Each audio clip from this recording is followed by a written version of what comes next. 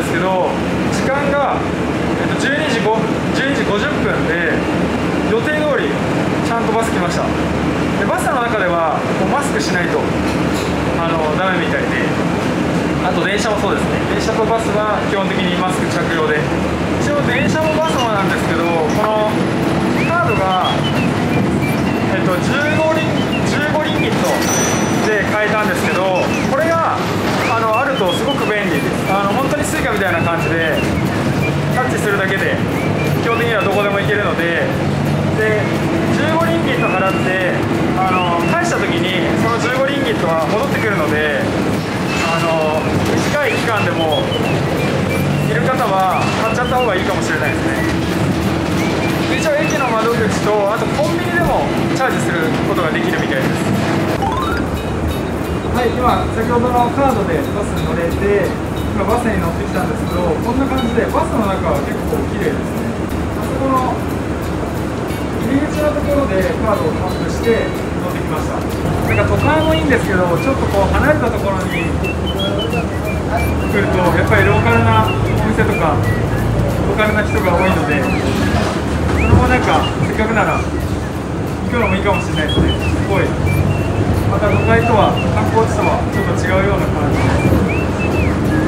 であとあのバス降りるときはこれ日本も一緒だと思うんですけどこのこのボタンを押して降りるみたいです。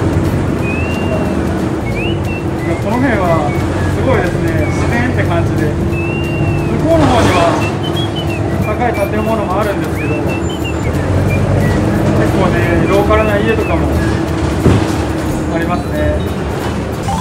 今バスを乗り換えました。このバスはめちゃくちゃ混んでますね。この辺りはすごい車が多いエリアですね。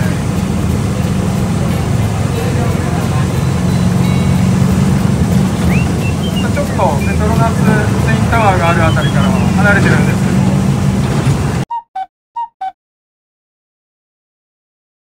着きました。ジョジョリトルキッチン。お店の周りはこんな感じになってるんですけどここのチャイニーズヌードルがすごい美味しいみたいなので今日はここでご飯を食べていきたいと思います。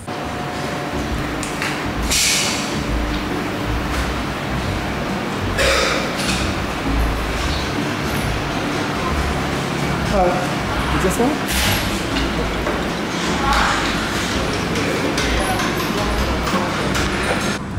い、メニューはこんな感じになっていて今これこれをトラディショナルを頼みました。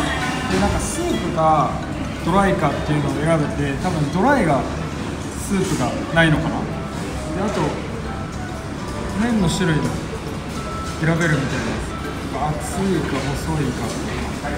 あとこれホームメイドソヤミルク。何かちょっと分かんないんですけど頼んでみました。今飲み物が先に来たのでこれをどんな味するんだろう飲んでいきたいと思います。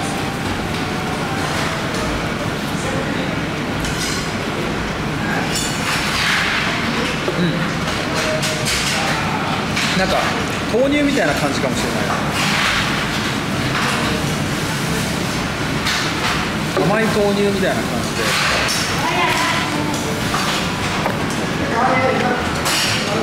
ホームメイドソヤミルク。豆豆乳みたいな感じかな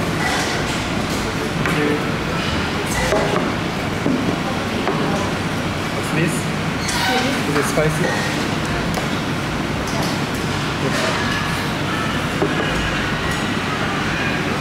はい今来ましたこ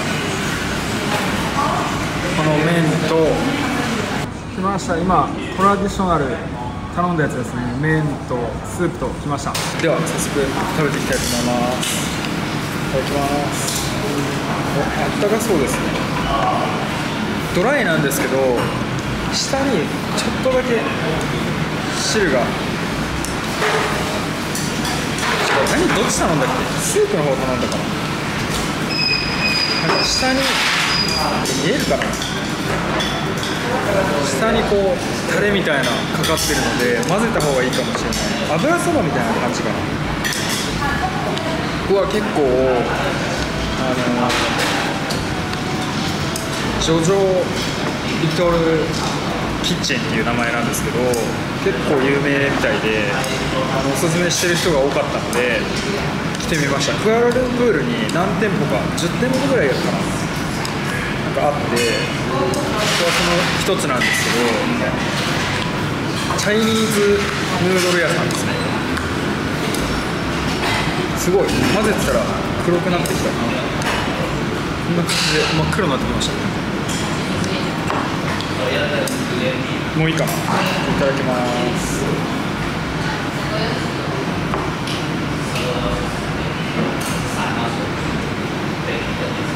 なんかおすすめはこの太い麺っていうことで結構麺が太麺です匂いはなんかそんなに辛そうな匂いはしないです。ねいただきます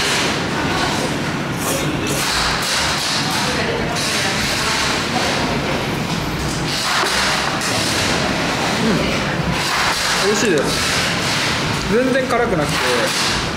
なんか甘いタレで日本にもありそうででも食べたことのない味。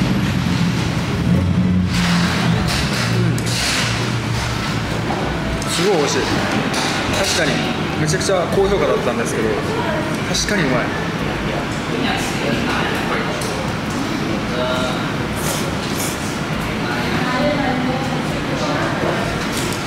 味付けはこれ何て言うんだろう。甘くてしっかり味が麺についてて本当に全く辛くはなくて。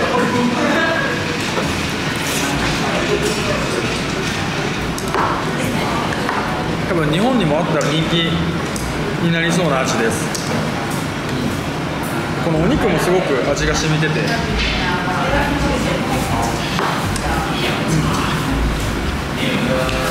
食べやすい。まい結構うまいで辛いのが好きな方は辛くもできるみたいです。うまいですね。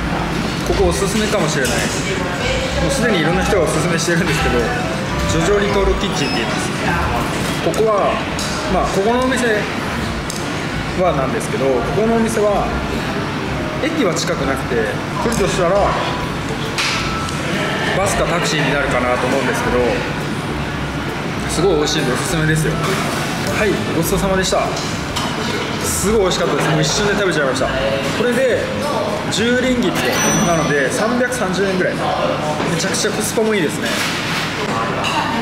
ここのお店も概要欄に場所と情報を貼っておきますのでぜひクラルンプールに来られる際はチェックしてみてください。はいそれでは今日はこのジョジョリトルキッチンからお別れしたいと思います。今日の動画も少しでも参考になったと思っていただけたらぜひグッドボタンとそれからチャンネル登録の方もよろしくお願いします。それではまた次回の動画でお会いしましょう。バイバイ。